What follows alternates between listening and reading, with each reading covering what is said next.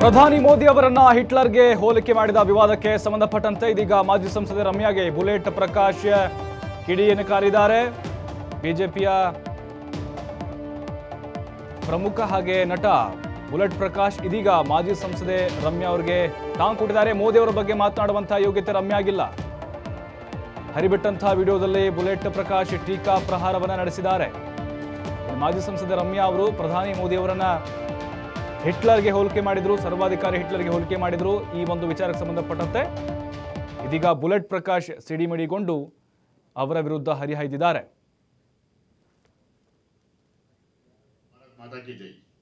ಜೈ ಹಿಂದೂಸ್ತಾನ್. ಜೈ ಶ್ರೀರಾಮ್. ಎಲ್ರಿಗೂ ನಮಸ್ಕಾರ. ನಿನ್ನೆ ರಮ್ಯಾ ಮೇಡಮ್ ಅವರು ಒಂದು ಟ್ವೀಟ್ ಮಾಡಿದರು ನರೇಂದ್ರ ಮೋದಿ ಅವ್ರ ಬಗ್ಗೆ. ಒಂದು ಫೇಕ್ ಫೋಟೋನ ಹಾಕಿ, ಎಡಿಟ್ ಮಾಡಿರೋ ಫೋಟೋನ ಹಾಕಿ ಅವ್ರ ಬಗ್ಗೆ ಒಂದು ಟ್ವೀಟ್ ಮಾಡಿದರು. ಸೊ ಅದಕ್ಕೆ ನಾನು ರಿಯಾಕ್ಟ್ ಮಾಡಿದ್ದೆ. ಇವತ್ತು ವಿಡಿಯೋ ಮಾಡಿ ಕಳಿಸ್ತೀನಿ ಅಂದ್ಬಿಟ್ಟು ಹೇಳಿದ್ದೆ. ನೋಡಿ ಪಾಪ ರಮ್ಯಾ ಮೇಡಮ್ ಅವರು ತುಂಬ ಒಂದು ಜವಾಬ್ದಾರಿಯುತ ಒಂದು ಒಂದು ಸ್ಥಾನದಲ್ಲಿ ಇದ್ಕೊಂಡು ನ್ಯಾಷನಲ್ ಪಾರ್ಟಿಯಲ್ಲಿ ಇದ್ಕೊಂಡು ಅವರು ಈ ರೀತಿ ಹುಚ್ಚಾಪಟ್ಟೆ ಮಾತಾಡೋದು, ಅವರು ಹೆಂಗಂದ್ರೆ ಹೆಂಗೆ ಒಬ್ಬ ಒಬ್ಬ ನಾಯಕನ ಬಗ್ಗೆ ಮಾತಾಡೋದು ಹೀಯಾಳ್ಸ್ ಮಾತಾಡೋದು ಅದು ಸರಿ ಅನಿಸ್ಲಿಲ್ಲ. ಸೊ ಹಾಗಾಗಿ ನಿನ್ನೆ ನಾನು ಟ್ವೀಟ್ ಮಾಡಿದೆ. ಅವ್ರ ಮನಸ್ಥಿತಿ ಹೇಗಿದೆ ಅಂತ ಹೇಳಿದ್ರೆ ಪಾಕಿಸ್ತಾನು ಸ್ವರ್ಗ ಅಂತೆ ಅವರಿಗೆ ಪಾಕಿಸ್ತಾನೇ ಅವ್ರಿಗೆ ಸ್ವರ್ಗ ಅಂತೆ. ಸೊ ಇಂಥವ್ರಿಂದ, ಪಾಕಿಸ್ತಾನ ಸ್ವರ್ಗ ಅನ್ನೋರು ಅಂಥವ್ರಿಂದ ನಾವು ಏನು ನಿರೀಕ್ಷೆ ಮಾಡೋದಕ್ಕೆ ಸಾಧ್ಯ? ಏನೂ ಮಾಡೋಕ್ಕಾಗಲ್ಲ.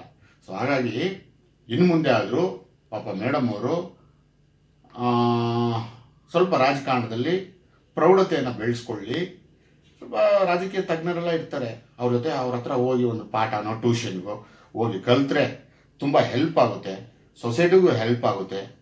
ತಮ್ಮಿಂದ ಈ ರೀತಿಯಾದ ತಪ್ಪು ಸಂದೇಶ ಎಲ್ಲ ಕೊಟ್ಟು ನೀವು ಜನರನ್ನ ಈ ರೀತಿ ಮಾಡೋದು ತಪ್ಪು.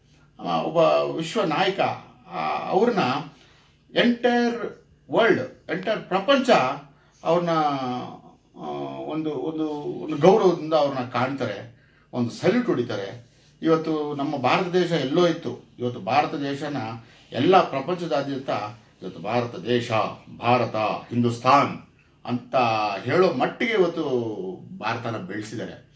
ಆ, ಥರ ಒಬ್ಬ ವಿಶ್ವ ನಾಯಕನ ಬಗ್ಗೆ ಮಾತಾಡೋದ ಮಾತಾಡುವಂಥ ನಿಮಗೆ ಯೋಗ್ಯತೆ ಅರ್ಹತೆ ಅನ್ನೋದಕ್ಕಿಂತ ನೀವು ಜವಾಬ್ದಾರಿ ಅದನ್ನು ಬಿಟ್ಟು ನೀವು ಹೊರಗೆ ಮಾತಾಡ್ತಿದ್ದೀರಾ ಸೊ ಅದು ನಿಮಗೆಲ್ಲ ಧಕ್ಕೆ ತರುವಂಥದ್ದಲ್ಲ ಶೋಭೆ ತರುವಂಥದ್ದಲ್ಲ ಇನ್ನು ಮುಂದಿನ ದಿನಗಳ ದಿನಗಳಲ್ಲಿ ದಯವಿಟ್ಟು ಇದನ್ನೆಲ್ಲ ತಿದ್ದುಕೊಂಡು ನೀವು ಸರಿಪಡಿಸ್ಕೊಂಡು ಹೋಗಿ. ಆಯಿತಾ ಮೇಡಮ್ ನಮಸ್ಕಾರ ಮೇಡಮ್